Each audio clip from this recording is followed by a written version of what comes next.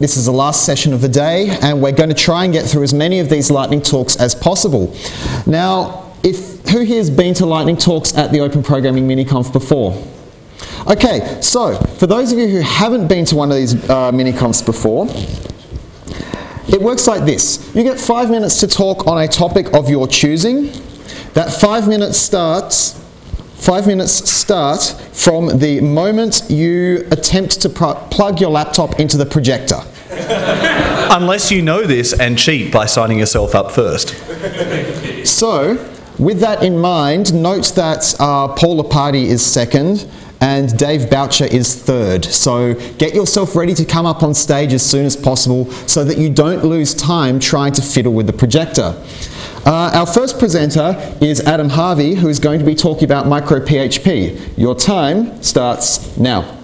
Thank you very much. Hello, everyone. Um, there is no countdown clock. This is very disconcerting. Um, I would like to talk about beautiful. I'd like to talk about the fact that a lot of people use PHP to write websites. Most people seem to use PHP to write websites. There's apparently no accounting for taste. Not all sites are Facebook. Not everybody really needs a, you know, most sites aren't Facebook, actually.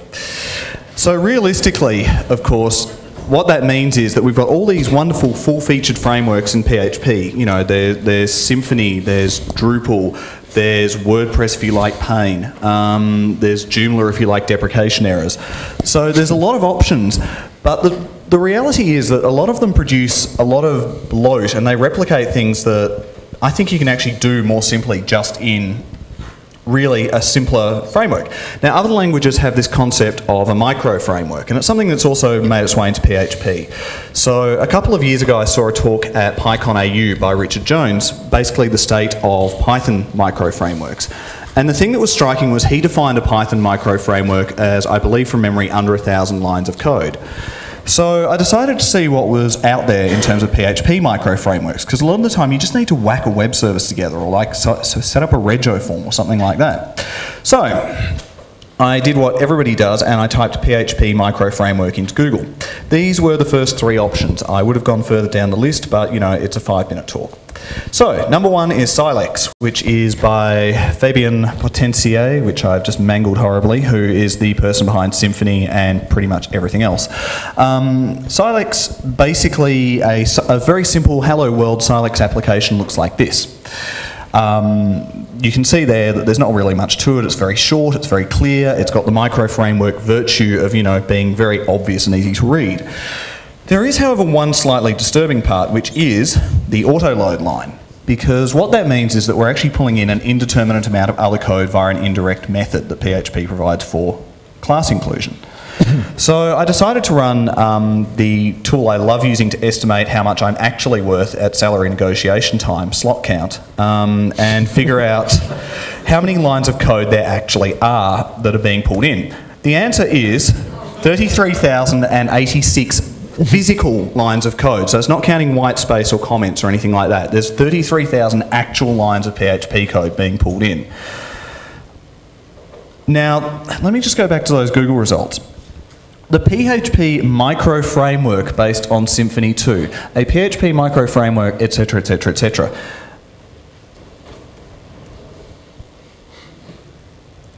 Micro. Yeah. Um, are there any children in here? What the fuck? I mean, really? Okay, so let's see if things get better with number two. So number two was Slim. Slim looks really, really, really similar in terms of how you actually set it up. Again, there's an auto load, and this time it's 6,000 lines of code. It's slim in about the same way I am. I used to be. Number three was Flight. This looks fairly familiar. 812 lines of code. So this is actually an improvement. This actually is the first one that seems like it's a real micro framework. 90 seconds left. Thank you, Christopher. So, I did this highly technical analysis and came to the conclusion that number four would clearly have a negative number of lines of code. it turns out that's actually not true, which really disappointed me. So I decided to write my own PHP micro framework this afternoon after my first talk. It's called PHP because it turns out PHP actually is a surprisingly effective framework. You can write your own router and fit it on a slide and possibly have it be readable for the first six rows or so. I mean, it's really not that hard.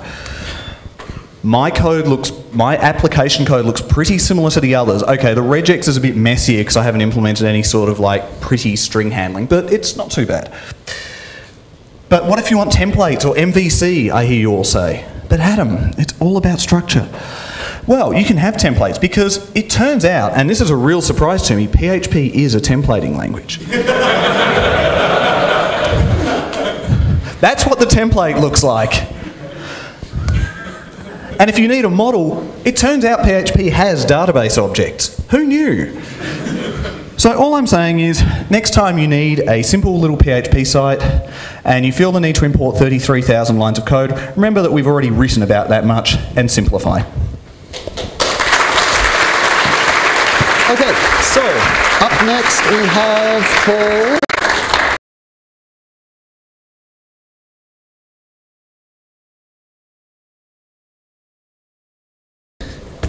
His time starts now. Okay, let's see whether or not we've got something that works. Uh, yes, okay, good. Okay, cool. Uh, mouse goes somewhere. Uh, mouse. Yes. Okay. Right. IPython. Uh, that's IPython. I'm running a Python interpreter. Um, I have a tutorial that I have prepared earlier, uh, 0.2. Uh, tutorial will blurb through for a while. Blurb, blurb, blurb, and to continue. Exercise, enter a Python statement. Okay, so who, who here can see that this could possibly be dangerous? Uh, Python statement could be anything. Uh, set y equal to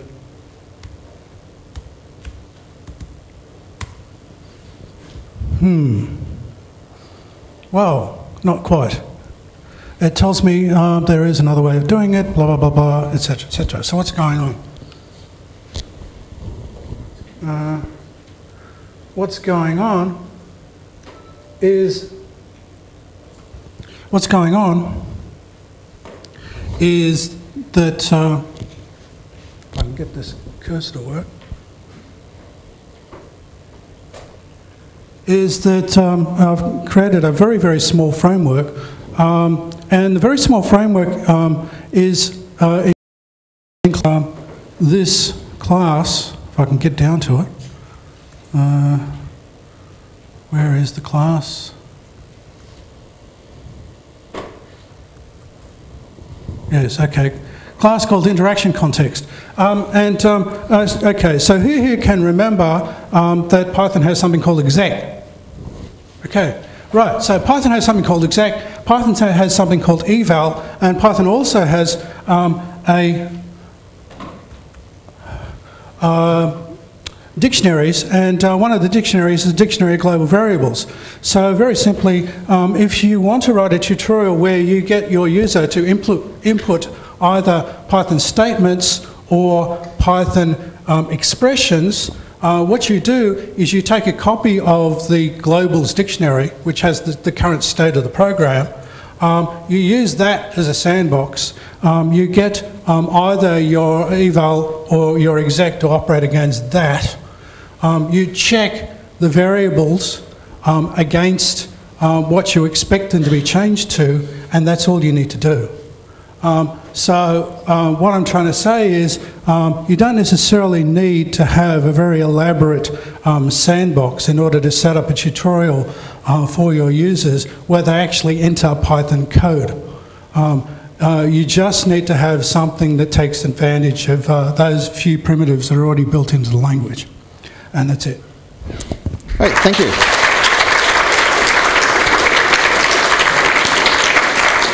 So up next we have Dave Boucher, and following that we have Thomas Sutton. Great.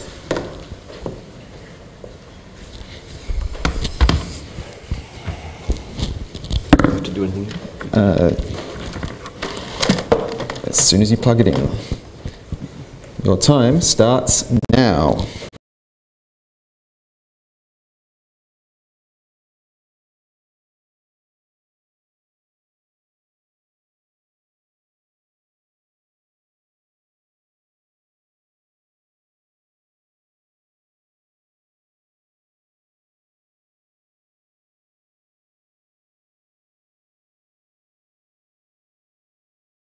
So I'm giving a presentation on Thursday. It's going to be a great presentation. It's on software transactional memory. And so, towards the end of last week, when I was thinking I should start working on that presentation, um, one of the, the classic case use cases for transactional memory is tree insertion.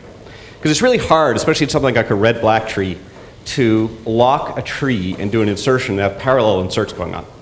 I'll get back to, to currency.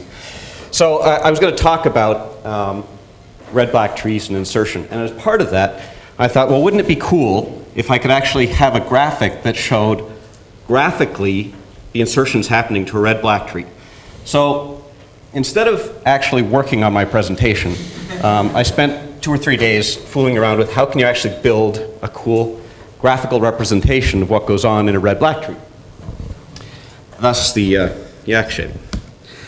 Um, so I started, I just grabbed the, uh, the code out of the kernel. Uh, Got to give some attribution to Woodhouse and Andrea. Um, and I just added some statements to it. So whenever it did something useful, like move a node from here to here, I just added some print statements to uh, print out, you know, hey, I'm setting the color of the node, you know, 19 to red, and I'm moving this thing from, from place to place. And that's pretty cool. Um, and so it produced this little moves file that uh, you know said, hey, create a node, uh, you know, give it some my own little internal coordinate scheme, um, move the nodes around, send to red, send to black, and so forth. What was really cool, and the reason I'm standing up here, is I don't know how many of you have played with scalable vector graphics, SVG. Um, they're super, super cool. If you ever in the old days tried to do like, you know, typical blit generation of graphics, it's horrible, right? I mean, using the libraries and Qt or whatever happens to be or Canvas, it's, it's really horrible building pictures. But SVG is actually, and, and there's a lot of people don't like XML, but it's this XML-based, character-based language. If you open an SVG file, it's perfectly readable. Well, for some definition of perfectly readable, but it's, it's readable. It's certainly writable by a human. So, and there's a really cool PySVG package which wraps that all in classes. So you can do things like the top line creates an SVG class, it gives it a view box, whatever. I mean, this is all, you know, there's not a lot of code that has to wrap around this. Um, you can create a line, you give it an AX, AY, BX, BY. I started out as hidden, I'll show you why in a little later. You can create a circle, you can create a text. This thing down here actually groups the circle and the text. You can maybe see where this is going. My tree has little circles with numbers on them, which is the units of the tree. You can group those together. You add these things together. So here I'm adding the circle and the text to my little inner container object. And then I add the outer container object to the page. I mean, it's you know, pretty straightforward. Um, SVG also, which is hyper cool, has animations. So you can say, I'd like to move this particular object from here to here. Start I'm going this fast and so on and so forth. Um, there's, I, I, got, I started to get fancy, so which is why I actually during Daniel's talk, I was still working on the presentation I'm giving on Thursday because I kept refining this. Um, so you can make it, the spline thing says instead of just doing a linear interpretation of moving from here to here, I want you to like accelerate and then decelerate so it actually you know, looks a little cooler as it's moving. One minute. Um, which is fine. Um, so this is sort of the XML that comes out. And so if I run this thing, this is an SVG file, a single, it's actually a single self-contained SVG file which shows um, what happens when you insert stuff into uh, a red-black tree. And it'll get a little more interesting in a second when it starts doing some rotations. Um, anyway, so this took me about, whatever, two, three days to do. Uh, it wasn't that complicated. And actually, it's pretty freaking cool. Actually, possibly more interesting than the actual software transactional memory talk um, that I'm giving on Thursday. Though I would encourage all of you to come to that talk because it's going to be freaking awesome. As soon as I finish it, I promise it'll be great. So, yeah. That's it. Thank you.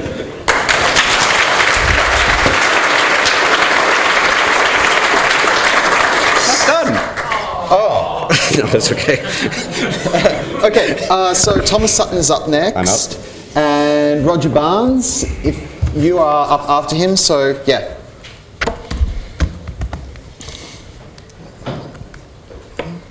Your time. Now. Um, so you're probably all sick of hearing about Haskell and Clojure and OCaml and Erlang and all of Use those languages. Here's some more. This mic? Yeah. Um, so I'm going to be talking about safe string APIs, or safe string handling in Haskell APIs, or rather some safer string handling, or to be honest, it's really kind of safer-ish, um, because it doesn't do, enough for me. So those who don't know Haskell or of Haskell, it's a purely functional language, but it's fairly pragmatic. Um, we heard about concurrent programming. It's true, Haskell is extremely good at scheduling I.O., and you don't write code that looks like Node.js code. Um, it's strongly typed, and that's what I'm going to be doing here, and it's kind of pretty safe. I, I wouldn't call it safe because it's still possible to crash Haskell programs, but it's a lot safer than something like C. So strings in Haskell look a lot like this. You might have a variable, well, variable, you can't change it, but it's a variable. A string, it's a string. The syntax looks like that. Um, in uh, GHC 6.8.1, they introduced a, a uh, feature called overloaded strings. So you can actually overload the string literal syntax and have write string literals in your source code for other data types that aren't string. Because let's face it, who actually wants a linked list of Unicode, co uh, Unicode code points as their basic representation of text? That's not fun. Doing it looks like this. Um, normally. If you want to use text, which is basically what you use in C, it's an array of packed bytes in memory, great for uh, memory utilization, much better than a linked list anyway. It looks like that. You have to manually, where's my cursor? You have to manually pack a string into text. So it's actually slower to do this than it is to just have a string. Using it's going to be faster, but do, just having a variable with text in it is going to be slower until you do something like overloaded strings, where you get to use nice uh, string literal syntax, and the code is nice and readable. Um, all you've done is turn on a language feature. That's cool, but so what? Well, doing this means that you can do things like have your very own data type to represent things that would ordinarily be strings. Things like SQL commands. And you can control the API of those because it's your own data type. So you can say, I want to have some string things um, that contain, say, SQL statements for my API, but you can't concatenate them. So you're minimizing the, the chance that some developer is going to write an SQL injection vulnerability. Uh, there's a bunch of libraries that use this technique. One of them, the one that pioneered it, is called MySQL Simple. It's a simple access library for MySQL, written by a guy called Bryan O'Sullivan. Really, really clever guy. Uh, and the code looks like this. This code doesn't compile because I'm passing a string into the query method. Um, you get an error that looks very much like that. The, um, the query function needs a, a query very, uh, value, but you're giving it a string. You turn on uh, overload strings, and it compiles and runs. Awesome. Um, the then you do things like this, which, I mean, really, if somebody can change the value of op, they can change the entire meaning of the query. You don't know that the developer is going to write processing code to handle that case correctly, so you don't do it. It doesn't work. You cannot concatenate strings together and then pass them through to this library. The only downside is that all of the code that does this is public and you can import it. So in actual fact, they can write that, it just takes them an extra 10, 9, 10 lines, uh, characters of code. That's not good. So um, what do we want? I want to do something like this. I want to be able to say, secure print is my operation, you pass it a string, it works fine. I want to say, you can even concatenate together static strings and pass them through. That's fine, that should run. But if you read a variable in from the, from the user and you try to use secure print on it, that should not work because that is not secure. Users lie, they're wrong, don't do it. Um, and if you concatenate together static values and input values, um, that should also not work. So basically what we do, skipping along very quickly, is use the optimization framework. Um, when you compile that code, it looks like that at the bottom. Um, you can use uh, our own private data type. We've got a secure print operation.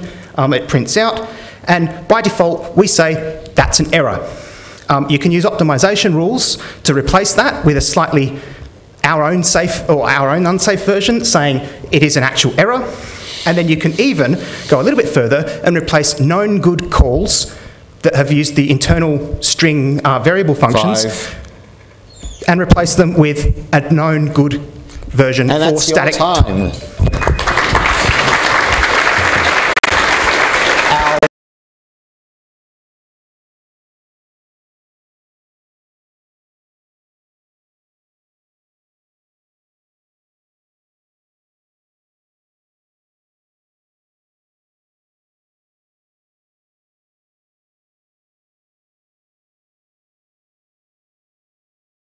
It's a nice background.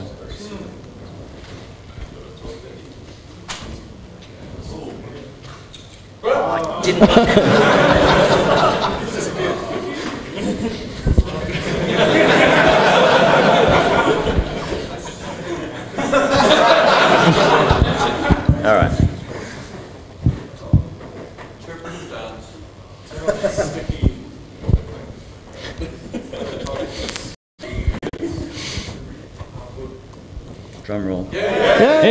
hi, my name's Roger, and I've just wasted a lot of time.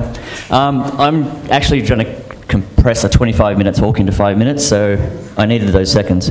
Um, I'm going to talk about the adventures of poker, packets, pipes, and Python. That's really hard to say. Um, so I like playing online poker just for fun, you know, not for money. That's really scary stuff. Um, but I'm not necessarily very good at it, which is also why I don't play for money. Um, so I had this game that I play, and I, I wanted a poker buddy, something, something that would help me. Um, I'm making a mess of this one.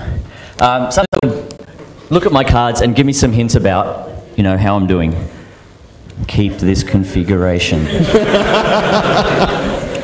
Um, so this is the game I play. It's an Android app, um, and basically it talks to a network server, and other people play. And that's what I was basically trying to explore: is can I get about how I'm playing based on the information I have, which is basically just my cards.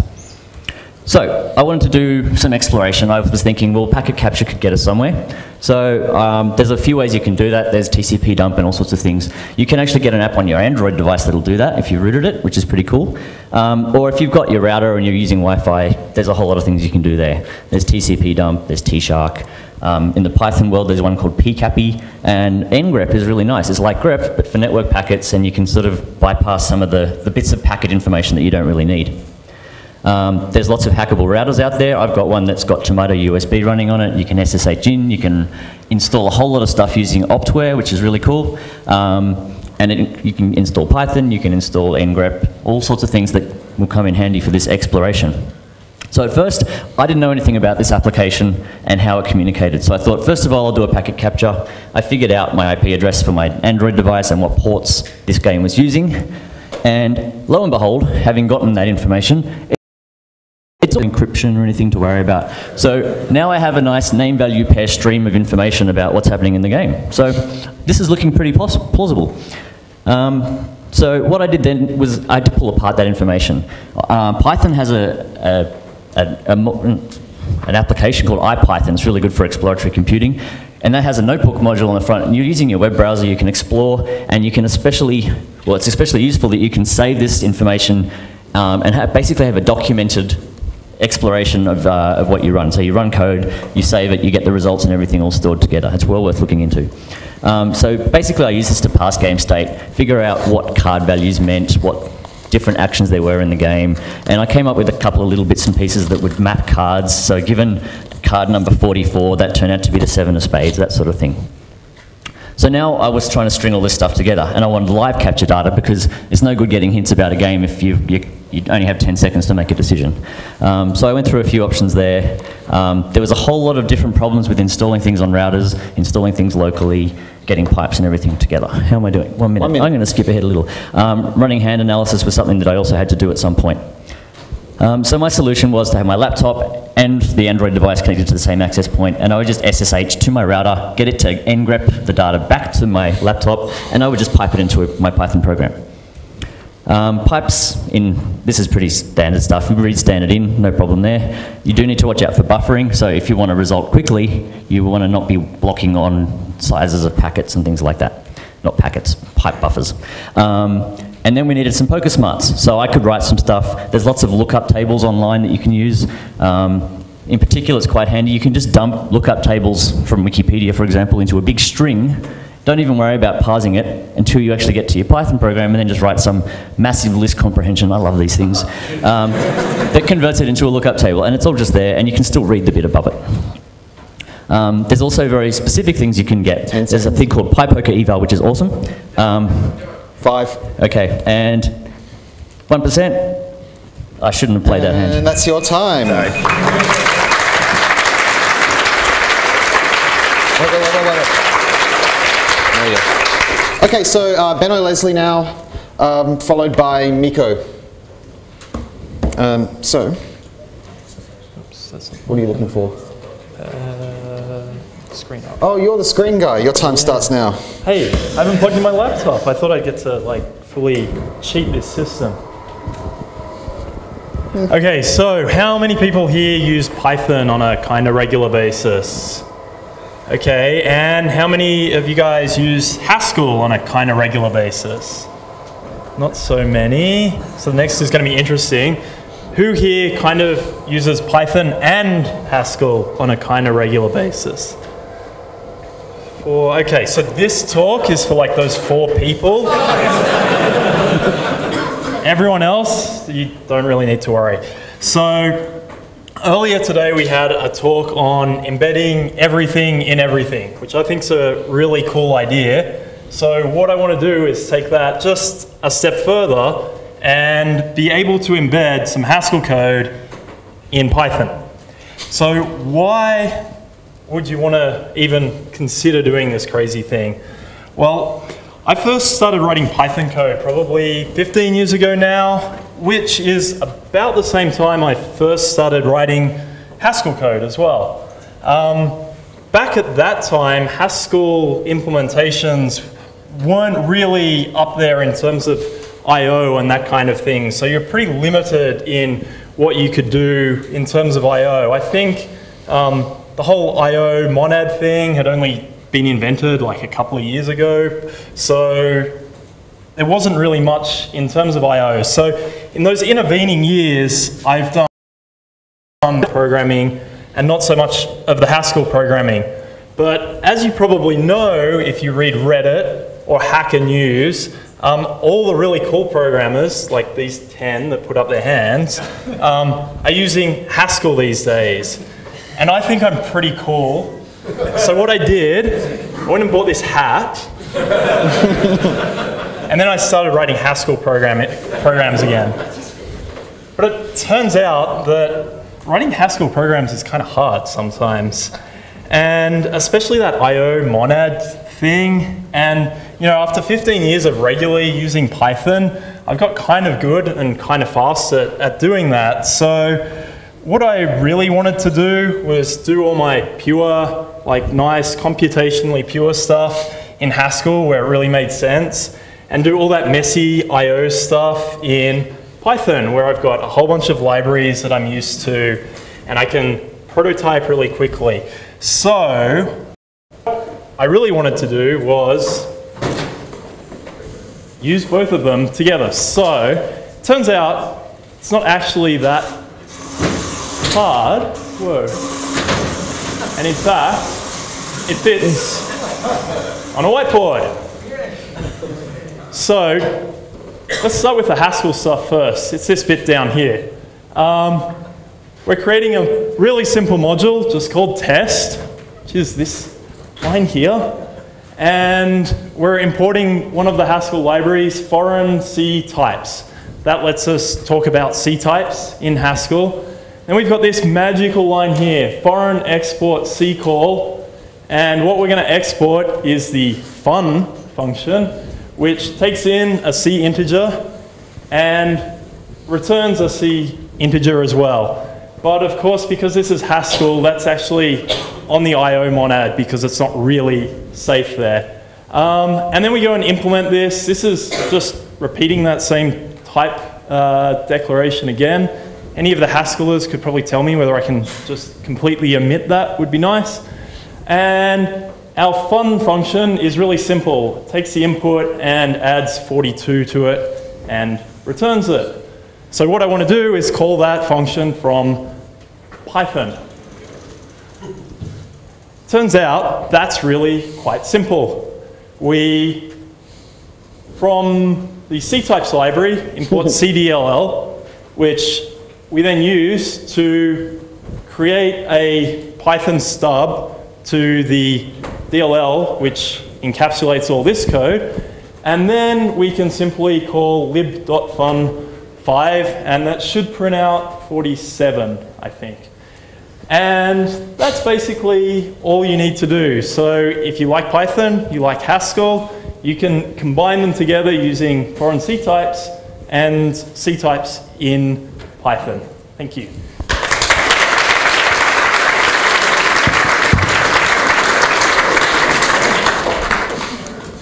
Okay, so um, Miko's up next. I think he's calling it me. It's not my name. Yes, well, there's, a, there's an O. That's, that's an Mike O. Look, look. Mike O. Oh, really? Okay. Mike. And then Duncan Rowe is after that. So if you could be ready to present next, that would be fantastic.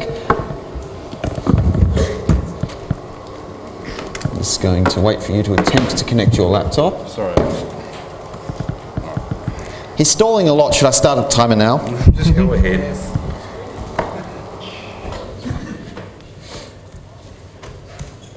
Okay, so your time starts now.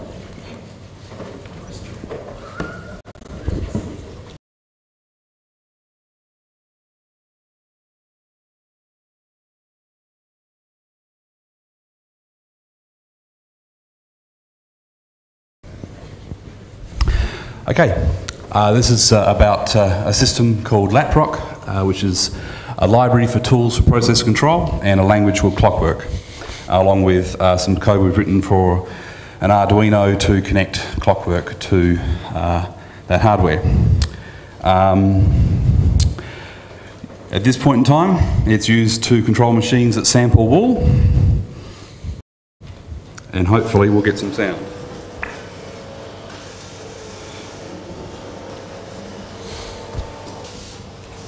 So that just, that just cuts a bale and takes a very large uh, sample of wool out of it, and the gentleman there goes and picks it up. And further up, you've got a machine that takes a core sample, a bit like uh, um, earth samples out of the ground. There's about 30 seconds of this.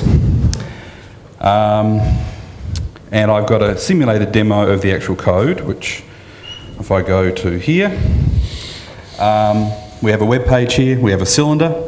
It has an extended input, a retracted input. It has an output for the um, to extend it and a output to retract it. And then we have this simulated cylinder here. I can say up, and it goes up, and you'll see that retracted turns off and extended turns on, and back the other way. So that's a simulation of that device, and the code behind that is reasonably simple. If we could just uh, get, maybe I've got this a bit big for us. I wanted to make it so you could read it. Is that too big? Oh, that's good. Okay. So there's a class of a machine. It takes four inputs. We have four states, which is extending, extended, retracting, and retracted. It takes two commands, which was those buttons I pressed on the web page, and it ha- on receive on enter of a state, you can run some commands that will uh, extend and turn off the input. And the configuration is fairly simple. Um, I've simply created some flags and on, true, true on-off flags so that I don't have to connect to real machinery. So we've got the definitions of the flags, the definition of the machine, and the definition of the simulations. And uh, it's a full-blown event state-based language designed to connect to almost anything. It can take data from 0MQ channels, uh, Q, uh, MQTT, which is a, a, protocol from IBM for simple microcontrols and those sorts of things. And uh, we have it talking to video cameras and scales and all sorts of stuff. So, and uh, as we said, the website for it is uh, just there on GitHub under Latproc. So, hopefully you'll find it interesting.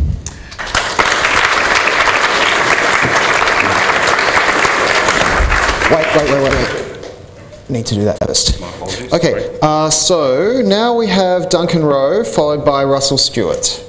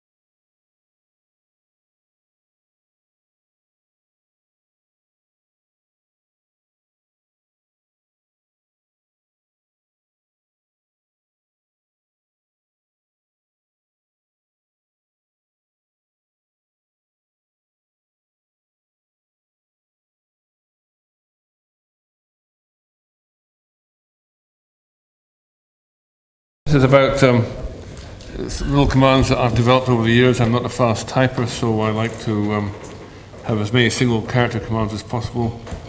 Uh, this is my bin directory where they mostly are, and the rest of them are contained in my bash RC, which I haven't really got time to show you. Um, there's several families of commands. PD is um, my directory navigation system where um, uh, you just rather than use CD, use PD, and you build up a list of where you've been, and then uh, if you want to go back to any of them, you can look at the list, and then you can just go by number to the one you want. So here we are in um, include, and uh, another family of commands are the families that, that searches for um, tokens or, or strings uh, in directory trees without having to type all the find command and everything else. So a common problem problem came up the other day on the Express Exchange. What's buff size? Well, if we look for uh, buff size in, inside um, inside here, which I managed to oh, all right, escape B escape U. Uh. Uh, the SFL is part of the family. That, that's the one that looks like down a tree. FL by itself would have would have just looked in the current directory. Well, there's there's the matches on buff size coming up, and there's a hash defined in there, and it's underscore IO buff size. So we, we check the chase after that.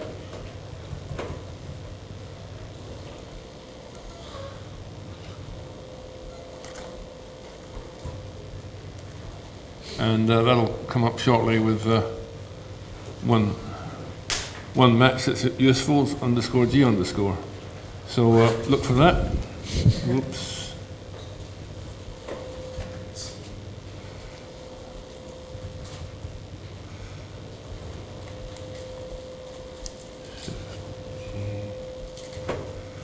Um, and that should find There we are, 8192, finally got it. That's the cursor, there it is, 8192. Um, family of commands um, is um, quick renames. Because you've got something, you don't want to check it into RCS, it's not really what you want, but you want to throw it away just yet. So um, uh, you might want to rename it to be dot backup or dot old or dot new, depending what it is. Um, and uh, so there's a, whole family of um, like if I if I have a if I have a command something that I like with like BU so the basic um, original for backup is an old thing from from general days. Um, but uh, if you if you BU something, that will uh, or you or say you back something, it's the same thing. So if I if I back a file.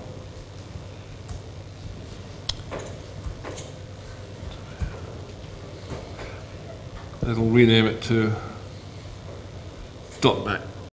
There are various things I can do with dot back. I can I can CM back with the original, which won't work because there isn't an original, but um, I can unback it to change it back to what it was if, I, if that's what I want to do. 10 seconds. and I can RM back to remove it.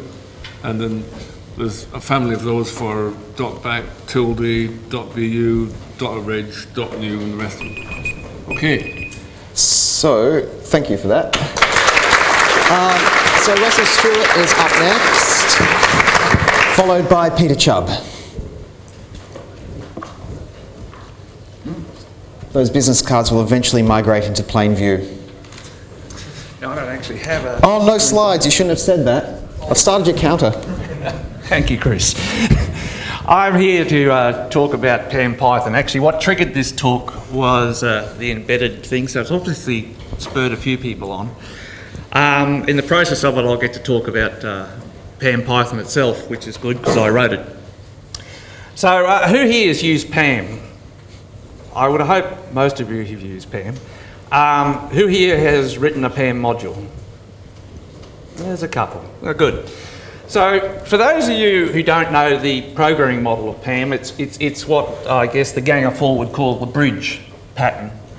where you have a uh, plugin on the top edge and a series of modules on the bottom edge. So on the top edge you would have maybe login is trying to authenticate the username and password.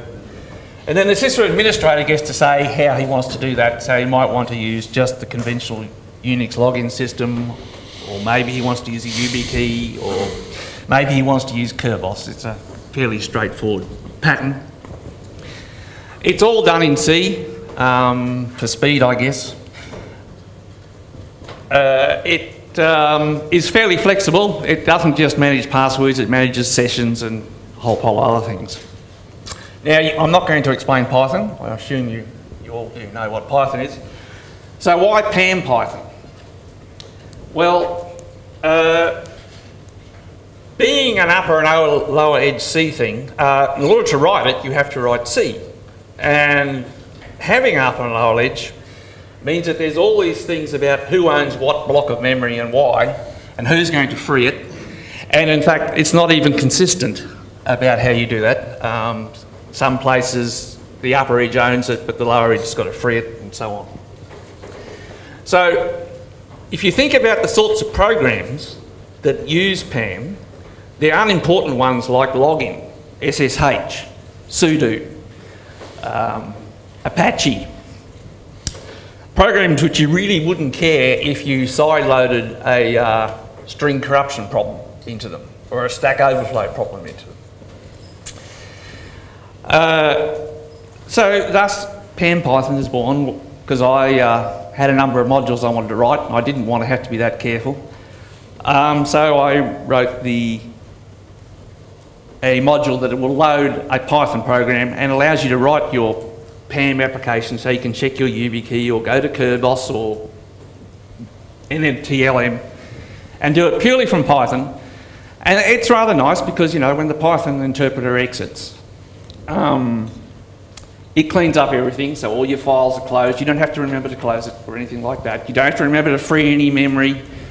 Um, all refer- in fact, it's remarkably good. All references just disappear. So, but after I'd done this, I realised what I'd done. Now, I don't know when anyone here has looked closely at the size of login, but the size of login is 38k. now, I don't know what anyone has looked at the size of the Python interpreter, libpython, whatever, but it's several megabytes. So what's happening, totally unbeknownst to the uh, programmer who wrote login ultra quick clean C code, is I'm underneath him and he's not aware of this. I've loaded in the entire Python interpreter, run a few lines of Python, and then got rid of it. And I've done this on all the programs that are meant to be secure and fast in Linux. And I thought that was an interesting case for embedding because they didn't know it was going to happen. Thank you. Okay, uh, so our last lightning talk is Peter Chubb. See if I can get this thing running. And your time starts now.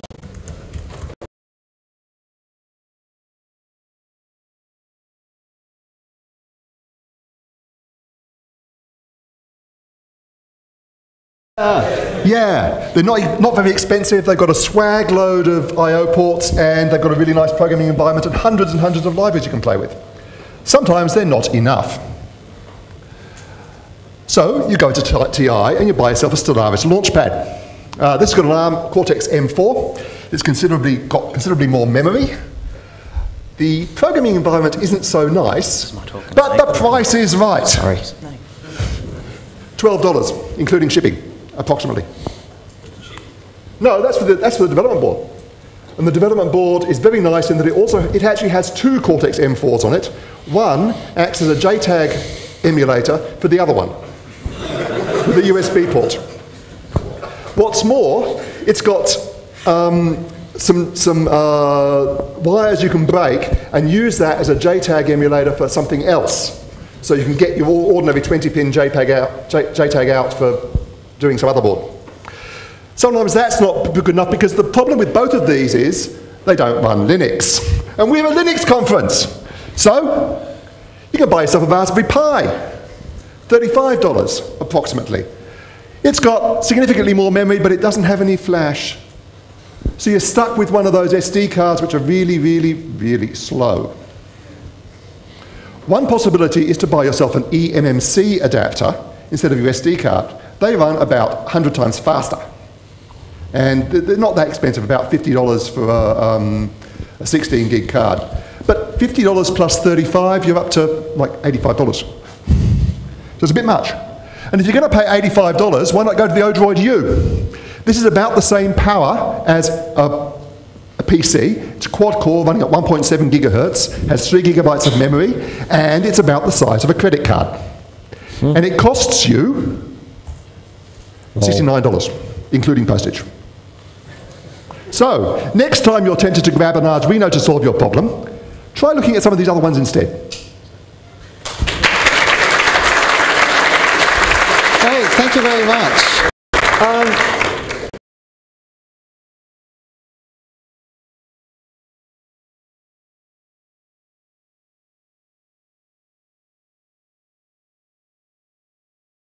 in the first weekend of July down in Hobart. Uh, I'm partially responsible for that, and I highly encourage you to get down there if you've enjoyed all the, all the Python content that's been happening during the lightning talks and during the rest of the day.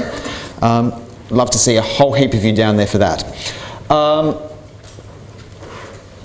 and I guess to finish up, uh, we've had a really great array of presentations today on what I think is probably the wide range of topics we've had at one of these open programming mini comps in the four years that we've run it. Uh, so I'd really like to thank the presenters for giving us so much interesting developer related uh, stuff today. So thank them.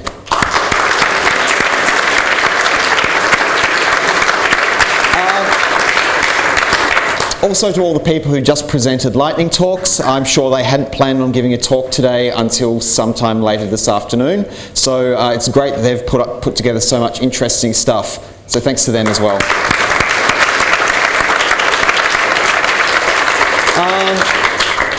And just on behalf of myself, thanks to the AV people who've been uh, really good today. They've made sure that everything gets recorded and that you can hear everyone. And they also stopped that annoying beeping sound during the second talk. Um, so thanks to them.